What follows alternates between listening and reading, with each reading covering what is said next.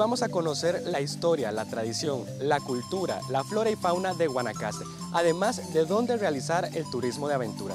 Un dato interesante es que Guanacaste tiene 8 parques nacionales y el 30% de los turistas de nuestro país prefieren visitar esta zona.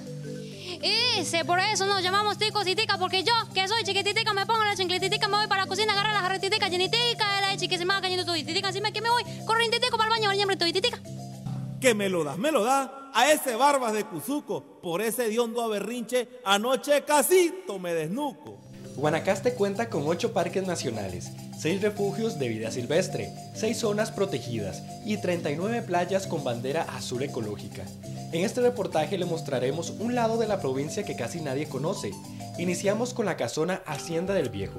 Aquí usted puede acercarse a la cultura guanacasteca, ya que los campesinos lo esperan con una tradición inigualable. Ellos le explican un poco cómo se vivía en tiempos atrás. Usted puede encontrar en esta hacienda diferentes actividades. Eh, mezclamos la cultura con la naturaleza. Eh, eh, una de las actividades principales es la parte cultural. de ahí que atrás tenemos una casona de más de 144 años de, creación, con un 80% de, de su creación sin tocarse virgen, un 20% algunas pequeñas reparaciones. La estimación de más de 7.000 turistas es importante porque representa un 46% del total de llegadas internacionales vía aérea Guanacaste, donde los extranjeros prefieren culturizarse. Y aquí en este reportaje seguimos ahora con la casona de Santa Rosa. Santa Rosa fue una de las haciendas más grandes y antiguas del país. Desde 1663 se tiene datos de su existencia. La casa original fue transformada en 1895, ampliándola y dándole el diseño que tiene actualmente. Aquí también se dio la batalla de Santa Rosa en 1856.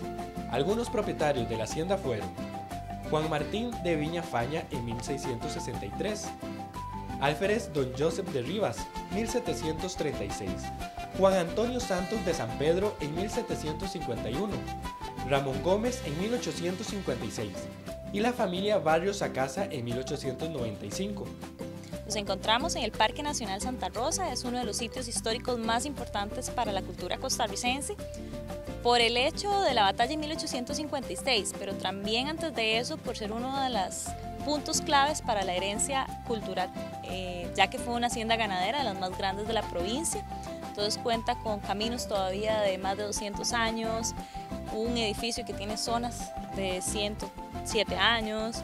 Eh, la guerra de 1856 ocurre aquí, un combate de 14 minutos que define nuestra identidad. Pero aquí también usted puede disfrutar y aprender de las zonas protegidas.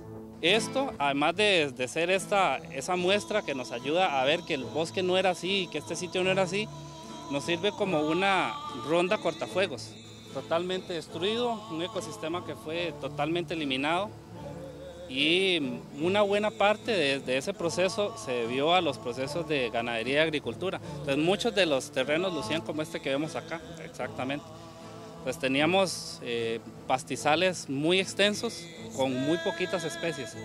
El partido de Nicoya forma parte de Nicoya, Santa Cruz y Villa de Guanacaste, actualmente se llama Liberia. Ellos habían decidido anexarse al estado de Costa Rica el 25 de julio de 1824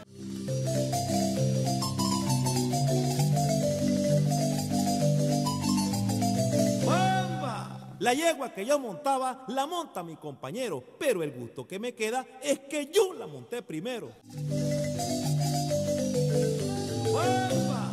Cuando tu amor se enoje por cualquier cosa tan sencilla, es porque hay otro diablo que le soba las costillas. Mañana vamos a darle los datos con respecto a los turistas extranjeros que visitan Guanacaste, además de tres aviones los cuales es por primera vez en nuestro país que nos están conociendo.